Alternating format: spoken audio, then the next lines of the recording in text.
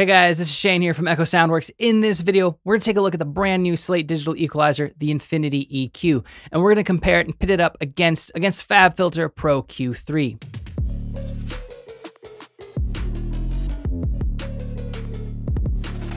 So I've been a FabFilter Pro Q user for quite some time. I think I got the first version all the way back in 2010, and I've used each subsequent version since then. So I was really excited to see that Slate was getting into the visual EQ arena, not the, you know, classic emulation or modeled EQ. So in this video, we're to look at all the features that the Infinity EQ brings to the table that's not there with the FabFilter with FabFilter Pro Q3 and vice versa. We're going to look at the things that we can do with FabFilter Pro Q3 that we cannot do with the Infinity EQ. Now, the whole point of me making this video is to just give you guys more information about which EQ may be right for you if you have one and not the other. Now, that being said, this is not a sponsored post. This is not a sponsored video. There's no affiliate links involved with me and either of these two companies, Slate Digital and FabFilter. All the ideas, views, expressed in this video, they're my own opinion. And I'm like I said, I'm just doing this so you guys get more clarity about the right tool for you and your music. All right, let's open up Logic and get started. All right, so I'm going to switch things up a little bit. Instead of starting out talking about the EQ, talking about the different features, we're going to just start mixing this track with the Infinity EQ. Now, I currently have no equalizers on any track. It's all just presets and samples. Now, speaking of these presets, everything you're about to hear is, is from our upcoming free sound set for ANA 2 called Drip. It comes with over 75 presets for trap, hip hop, lo-fi, and you can use them for a bunch of other genres as well. If you guys want us to release that, let us know in the comments. We're pretty much done with it. And if we get enough love and support for it, we'll drop it as soon as tomorrow. All right, so let's check out this demo. Again, no EQ. We're gonna we're gonna improve the mix using the Infinity EQ.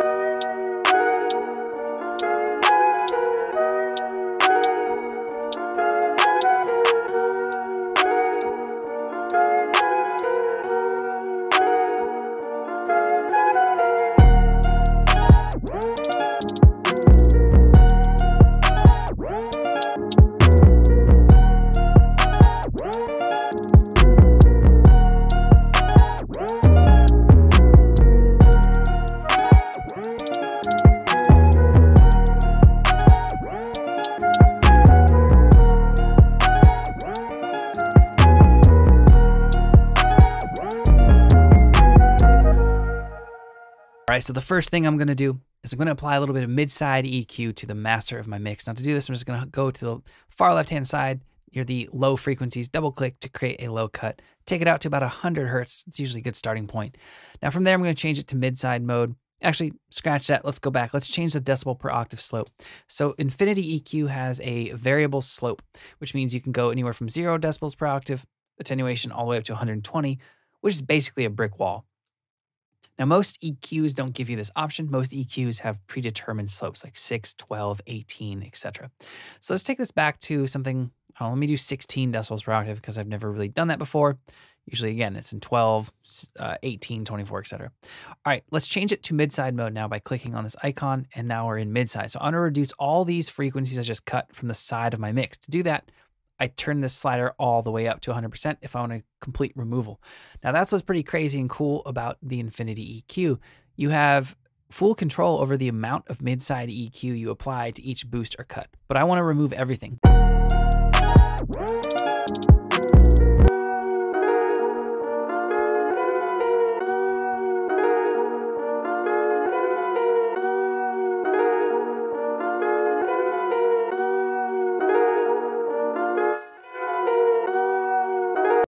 So I'm going to remove some of the lows. I want, this to be kind of a brassy sound right here.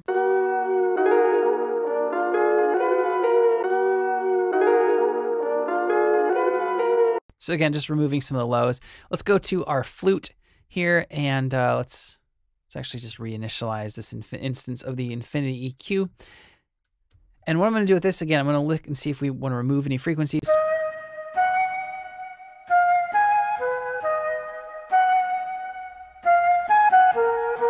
I actually want to boost some of the high end wind on this. So to do that, we're going to create create a little bit of a shelf here. Sure, we'll, we'll do shelf for this. And again, I'm going to change the mode to side and we're going to boost just kind of the high end frequencies in the flute just on the side or mainly on the side. I'm not going to go full 100%. Let's solo this band, see what we got. So pretty subtle, but I think it'll help it pop out in the mix a little bit.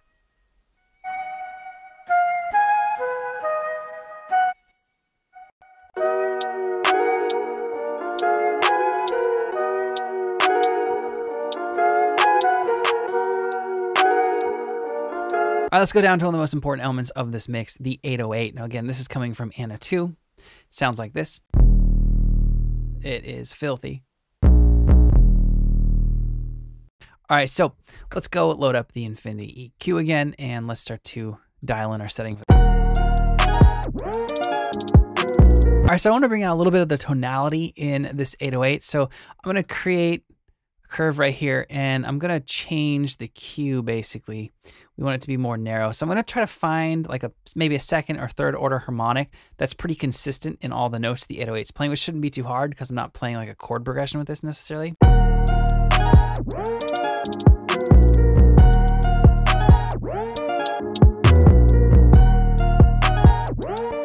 All right, so there's a band that's pretty consistent. Let's solo this.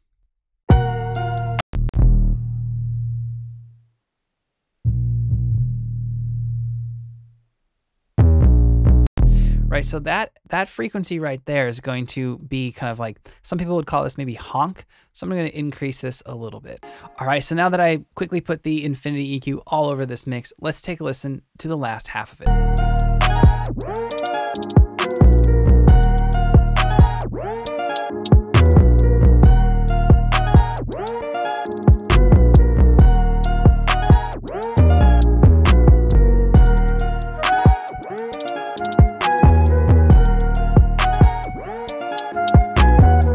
All right, so conventional YouTube logic would dictate that I spend the next 15 or 20 minutes slowly, painfully crescendoing into my opinion of Pro Q3 versus Infinity EQ.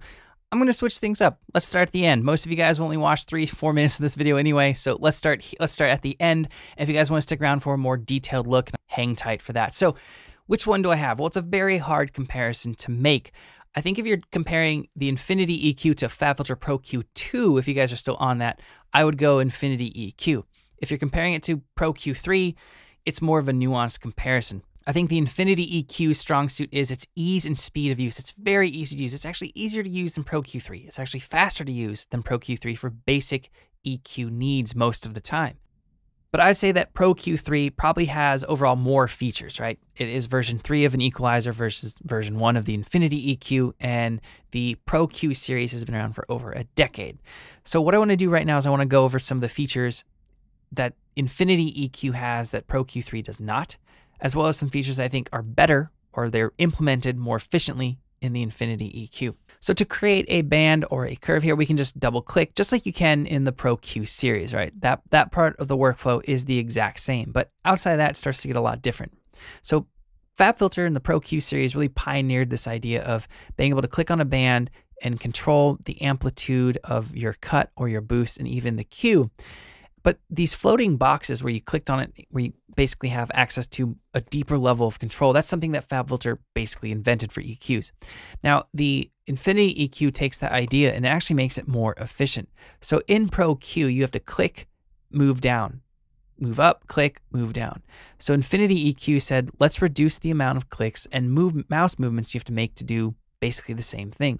So we've created our shapes double clicked, right? Now all I have to do is hover over the curve and I get all of the controls and then some that I get when I have to click and right click potentially in Pro Q3.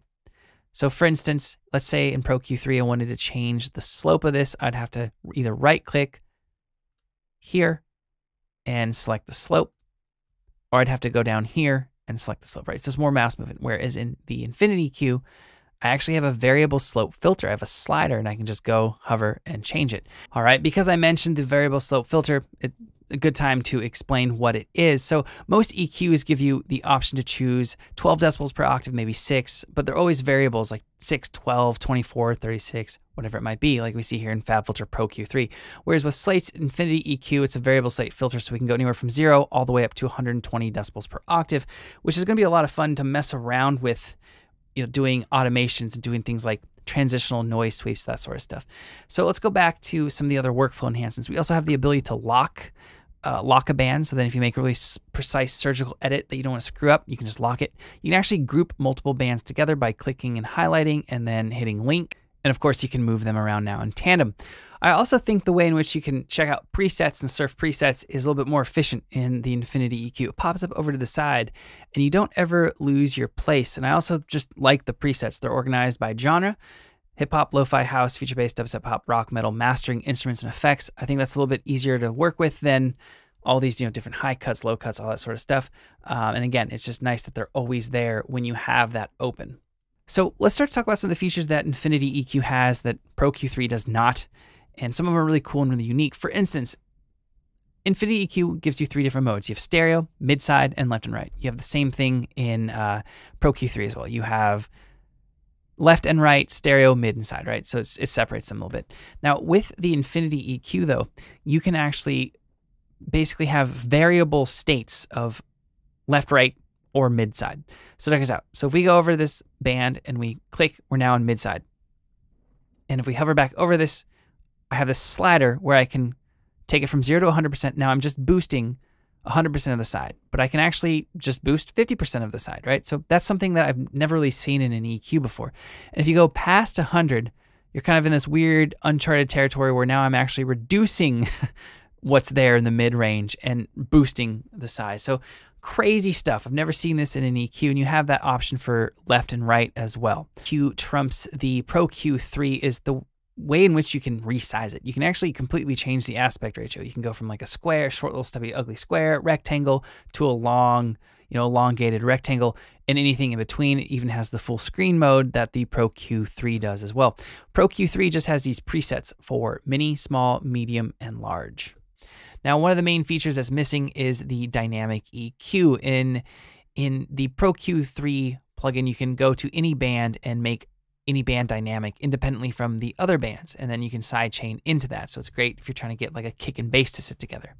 Now, a couple of things there's more shapes and curves in Pro Q3 than the Infinity Q, but the flip side of that for me is okay, well, I probably don't use all 10 of these. I probably only use about four or five, and those four or five are pretty much here in the Infinity EQ.